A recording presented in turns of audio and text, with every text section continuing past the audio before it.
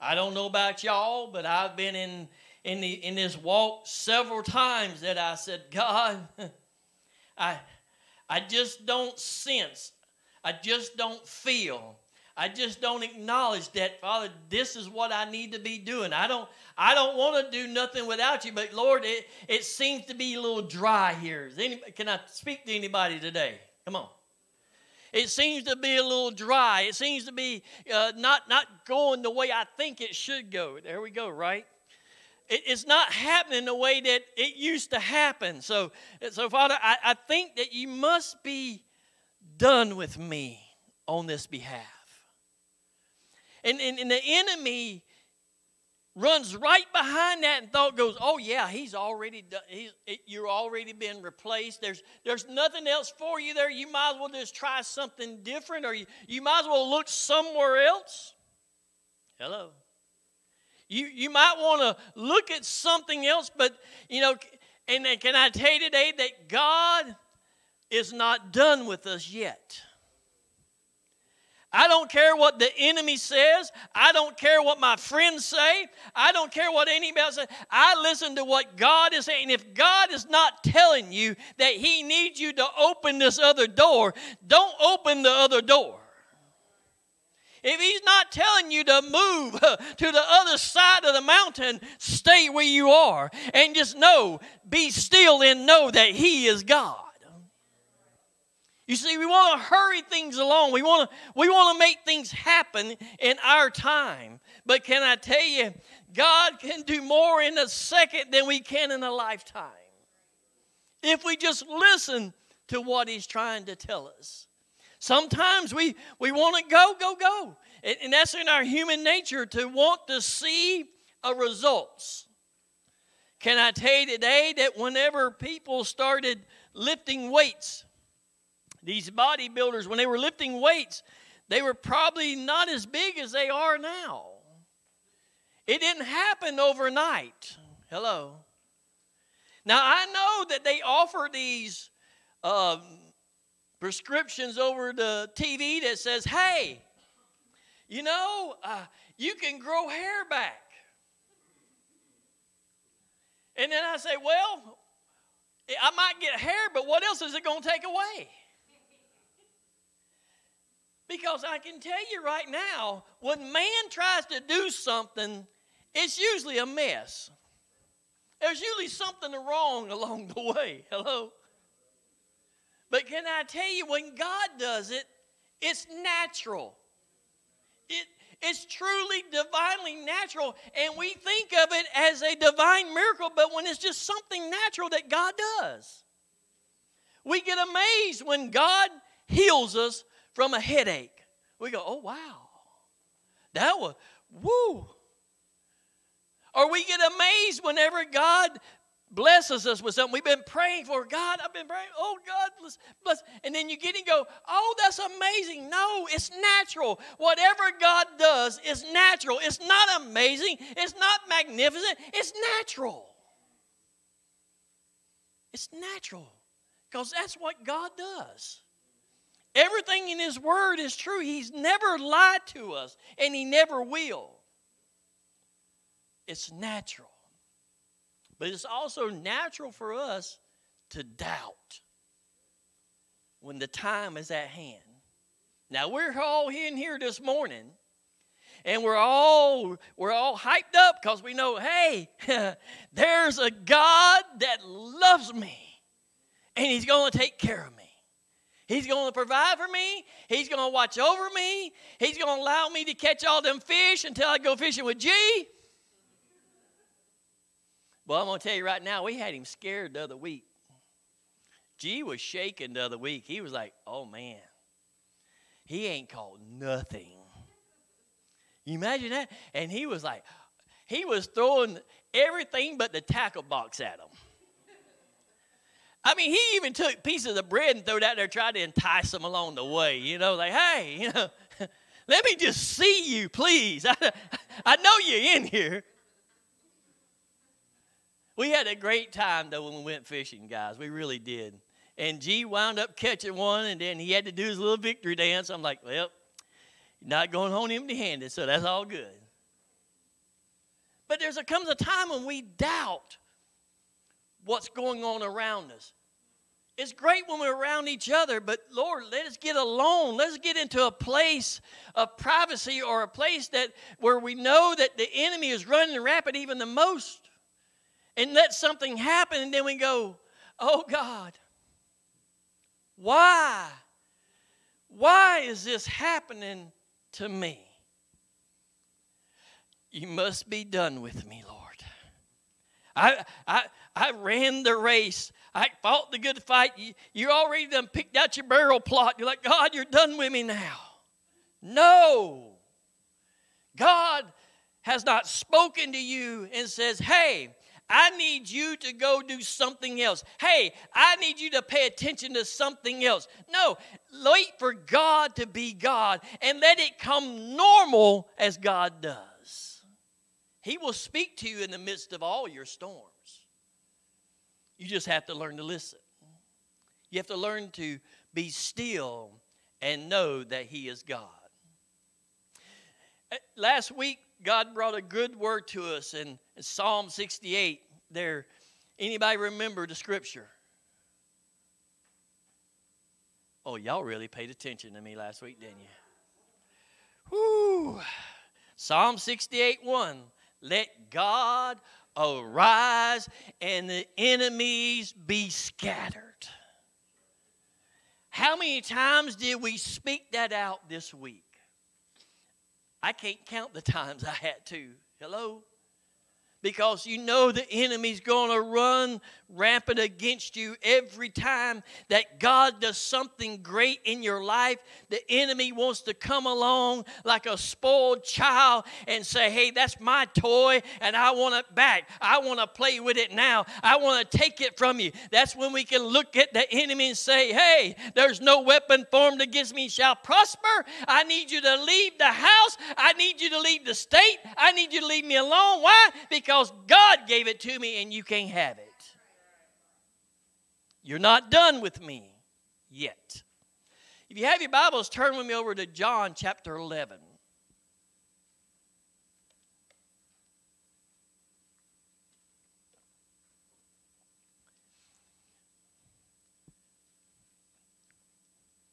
God just keeps reminding me to remind us that He's not done with us yet. I've preached this many different ways, and God just opens doors up so many times. How many of you know that you can read certain scriptures your whole life and they'll have a whole meaning of something else? Good. Mm, God is so good. Chapter 11, start with verse 1. It says, Now a certain man was sick named Lazarus of Bethany, a town of Mary and, his, and her sister Martha. And it was that Mary which had anointed the Lord with the ointment and wiped his feet with her hair, and whose brother Lazarus was sick. Therefore his sister sent unto him, saying, Lord, behold, he whom thou lovest is sick. When Jesus heard that, he said, This sickness is not unto death, but for the glory of God, that the Son of God might be glorified thereby. Now Jesus loved Martha and her sister and Lazarus. And when he had heard, therefore, that he was sick, he abode two days still in the same place where he was. Then after that, he said to his disciples, Let us go unto Judea again. Father, we thank you for this word today. God, we thank you so much, Lord, that you just are here in the midst of us. And Father, that you're uh, all over the place today, God. Lord, whether they're online or, Father, wherever they are, God, right now we know that you're in the midst of your people. So, Lord, right now, I pray that every ear and every heart become open, Lord. And Father, that they not only hear, but Father, they receive as well. And God, I ask you once again to anoint these old clay lips as you continue to hide me behind that cross of Calvary. And I ask this in Jesus' name. And amen. I want us to take a look at something other. You see, sometimes, you know, we get we go through some troubles and trials. We go through some sicknesses. There's some things that along the way that life happens and we have to go through them.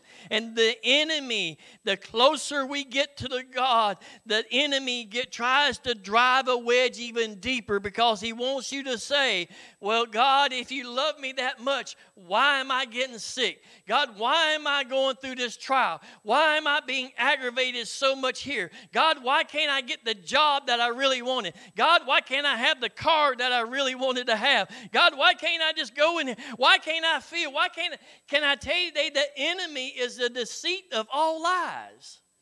Can I tell you that God is not done with you? Has God come to you and says, "Hey, I'm done with you"? No. God will come to you and He will probably say, Hey, I got something I need you to do. But God is never done with us. He loves us that much that He's willing to say, I've never left you and I've never forsaken you. Behold, I am with you always. To the very end, I am with you. I love this story between Martha and Mary and, and Lazarus and, and the people that are there. But I want us to draw our attention here to verse 4. And it says, And when Jesus heard that, he said, This sickness is not unto death. Now I can just imagine that his disciples around him goes, Oh yeah, there's no way he's gonna die. You're on the scene. You're you're you're the you're the man. I, we've witnessed you walk through a, a, a, town and just reach out and make your hand just flow over people, and they stood up from being crippled. We've watched you just speak as what somebody's arms just stretch back out unwithered. We've watched you tell a guy that was lame that his friends dropped him down, and you said, Take up thy bed because you are made whole. No way this guy here is going to die. No way it's going to happen. Even Mary and Martha, they thought in their minds, Look, there's no way that he's going to die. There's nothing they're going to happen because you know why? Jesus is going to come. He's going to get here and everything's going to be fine. But along the way, Lazarus died. But Jesus spoke a prophetic word right there and said, This sickness is not unto death. That's just like when he told the disciples, whenever they got on the boat, he said, Let us go to the other side. And whenever they started along the way, Jesus takes a nap.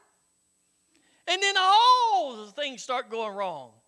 And they looked down there and they said, Don't he even care? Don't you even care about me, Lord? You see the you see the troubles that we're going through. You, you see my child is sick. You know, my husband is sick. My wife is sick. My, my family is sick. I'm just going through so much. God, don't you even care? I've seen you do many things. I, you've healed this body, God. I know that. But yet, where are you? Where are you? Can we remind ourselves once again there is a God that loves us. To him be the glory. You see, what we want is an instantaneous results. We want to see something happen now. We want to see souls being saved right now. But can I tell you, when we just have faith in God to know that no matter what comes or goes, I don't have to see somebody give their heart to the Lord. I'm going to believe they're going to do it. Hello? Why? Because if I put them under the blood of Christ, they can't run out from underneath it. Hello. I even said this before all of my children, all of my grandchildren will be saved. Hello. Because you know why? I'm putting them under the blood of Christ, and they cannot get out from underneath it. They may splatter around, they may toss to and fro, but guess what? God is still good, and He's on the throne, and He's not done with them. I love what he says here in verse 4 Sickness is not unto death, but for the glory of God, the Son of God might be glorified thereby. In other words, Jesus already had it planned out. He already knew what needed to take place. Sometimes we go through these things because we need to build our faith in God. Sometimes we, we need to really have that hard look of like, God, do I really trust you? Do I really trust you? Can I tell you, you really want to trust God, start tithing. Hello. Because the first thing's going to happen, I, you're going to pay that tithe, and then all of a sudden things going to start breaking down. And then you're going to go, well, if I hadn't gave that money, I sure could have got this fixed. If I hadn't have done that, I'd have had the money to have that fixed. Sometimes it's, it's kind of funny, but it's not. that what it would cost to fix something was what you tithe. I'm like, are you kidding me? I remember a time I wasn't so delightful. Let's just put it that way. I remember uh, getting back into with the Lord and the church I grew up in, it was more of a like it's a convenient thing to give versus a biblical thing to give. It was more like, okay, you give what you think you should give or when you have it to give. Hey, I've even seen people make change in the offering plate. Hello. True. I'm like, oh man, that's how that works. But I remember me and my wife, we, we got back into church, and uh, man, we were I, we were full force of everything. And there were still things that God was working on me, and God's still working on me. Hello. he said, I ain't done with me, right? And so I started to work for Energy Electric, and um, I needed this tool in order to do this job. And uh, I had to buy tools along the way because we were broke was an understatement. I mean, if you look at broke and pitiful, you see my picture in the dictionary. I'm just saying, you know, it was there. And so I get in there and I'm like, okay, I, I need this tool. So I, I told my wife, I said, I got to go get this tool. And she goes, well, ain't going to happen this week. I'm like, well, why not? She says, well, she went through all the stuff and all. And then that last thing she said, she tied. I'm like, what? You, how much? and so she told me, I was like, oh my God. I said, now I can't you do the job. I can't do this. I can't do that. I mean, I just went on a tyrant of a rant. You know, I'm not proud of it by no means, but I did it. And I remember I had the biggest hissy fit you ever wanted to have. I'm surprised she didn't kick me out, shut the door, and go, When you get done, you can come back in. But thank God she loved me enough to tolerate it, you know. 30 years worth of it. Yeah. Whew. Lord, you got something good for her, I know.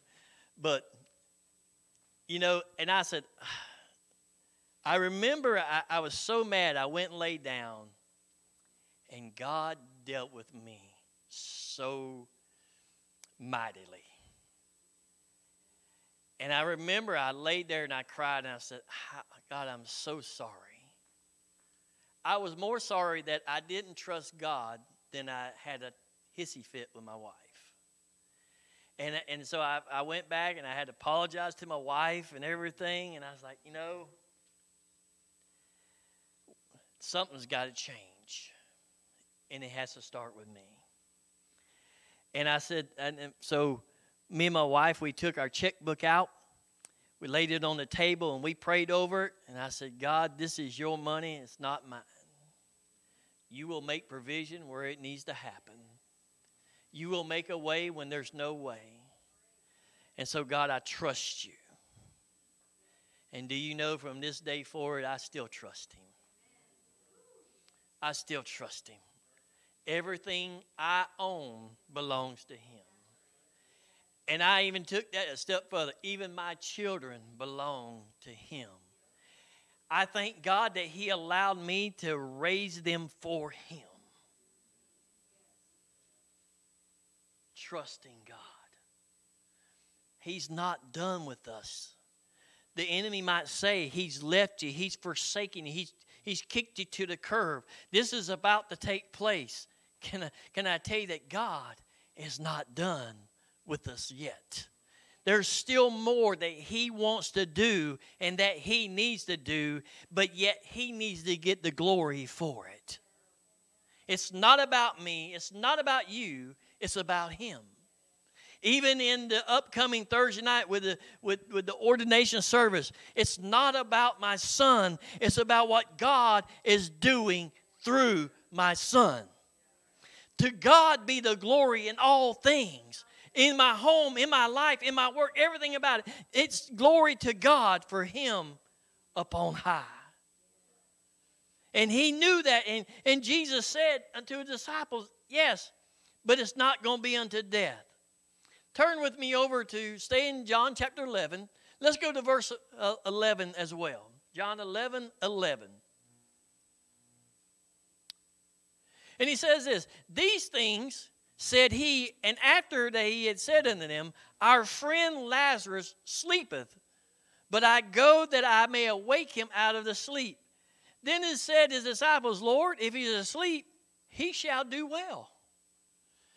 And howbeit Jesus spake of his death, but they thought that he had spoken of taking of rest and sleep. And then Jesus said unto them plainly, Lazarus is dead.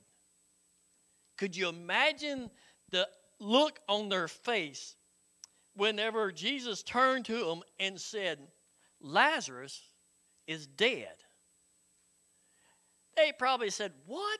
There's no, you said he's asleep. You didn't say nothing about him dying. We should have done went. We should have done went there. We should have, well, we need to travel all night. We need to go now. That we need to get there. And Jesus says, Hold on.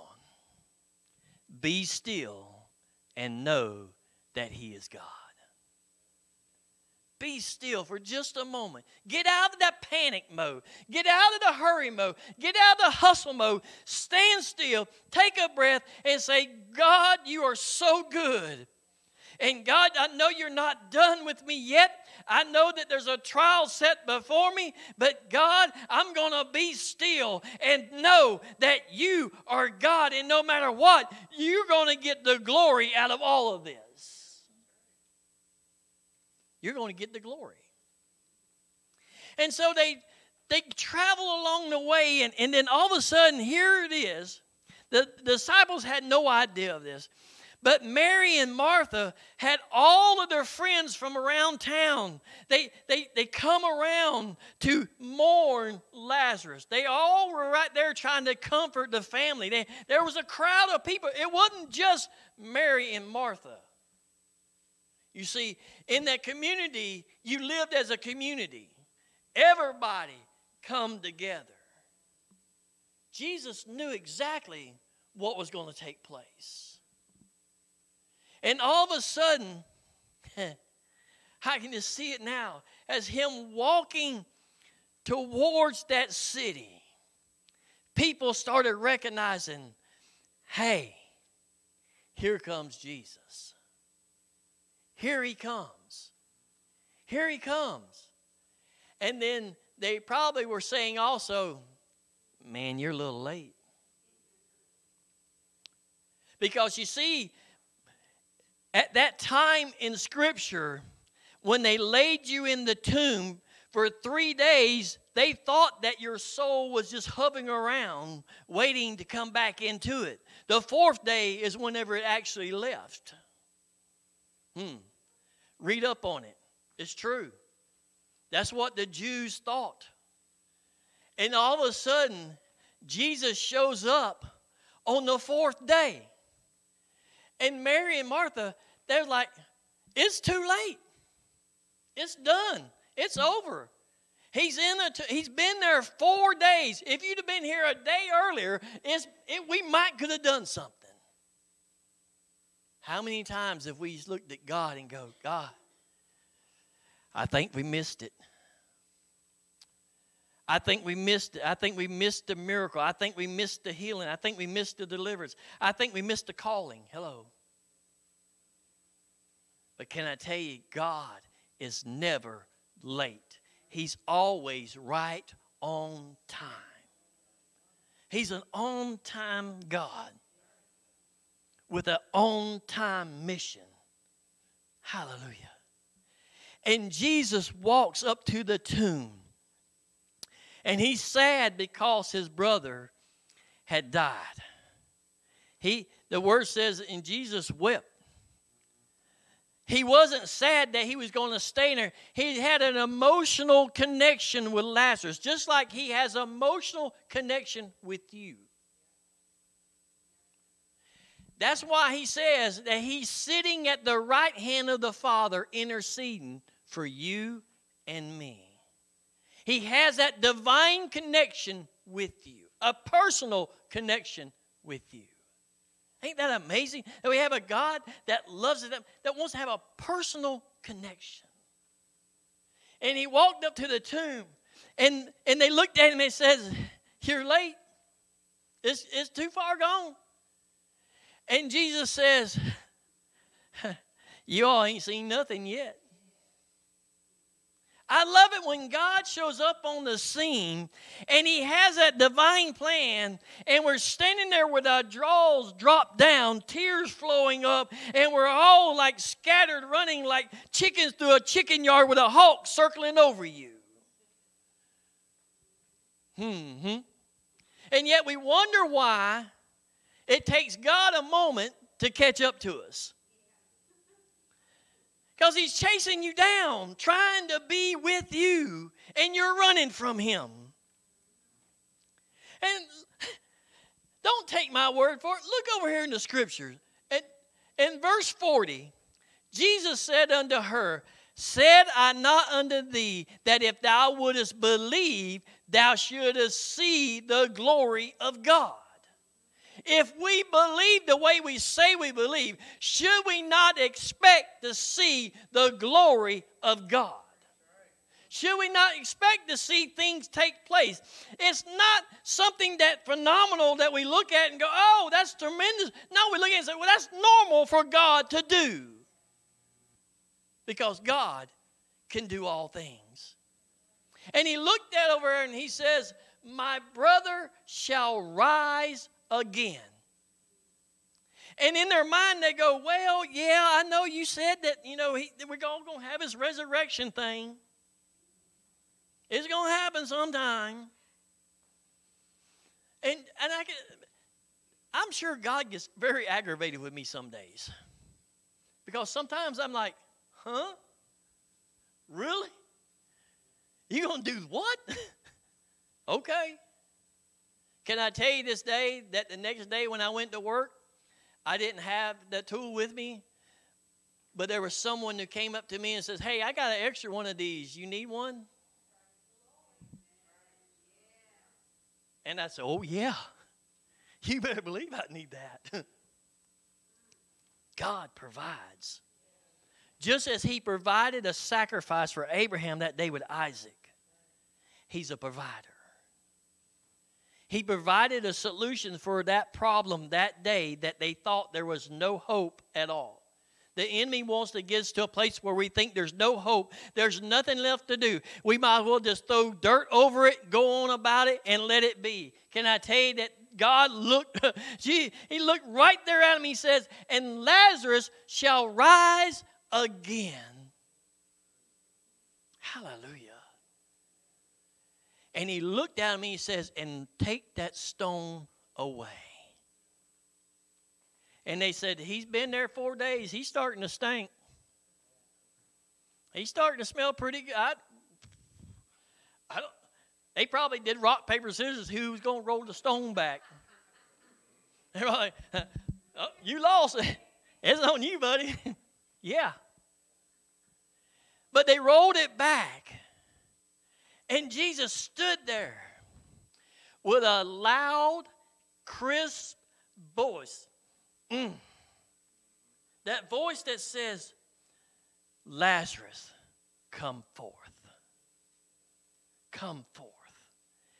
And the word says that all of a sudden something started to ease out of that tomb. To God be the glory.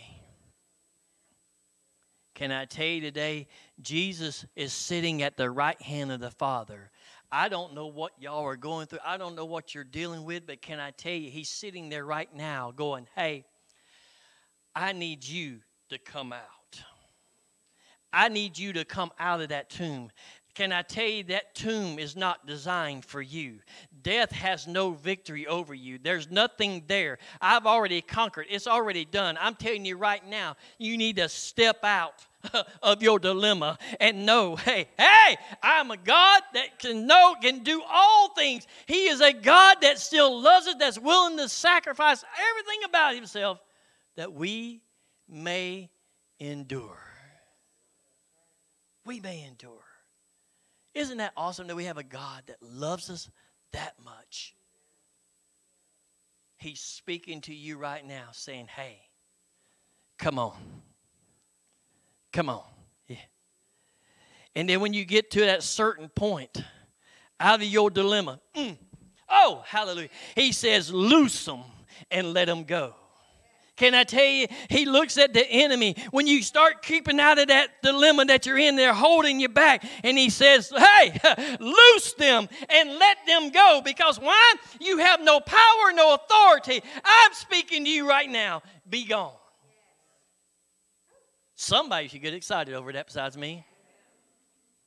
Somebody needs to recognize that you don't have to be stuck in that dilemma. You're not called to be in that circumstance. God is not done with you yet. He has more for you to do. We look at things a whole lot different than what God does. Sometimes all we see is doom and gloom, and God sees an opportunity to show up and show out.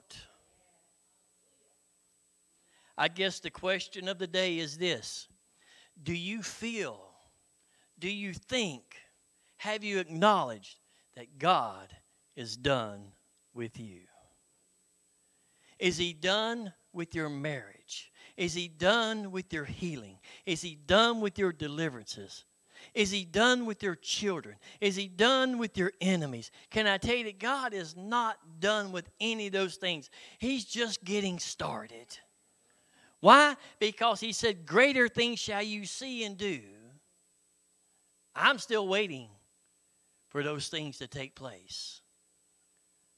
But I can't do it if I'm still stuck in my dilemma.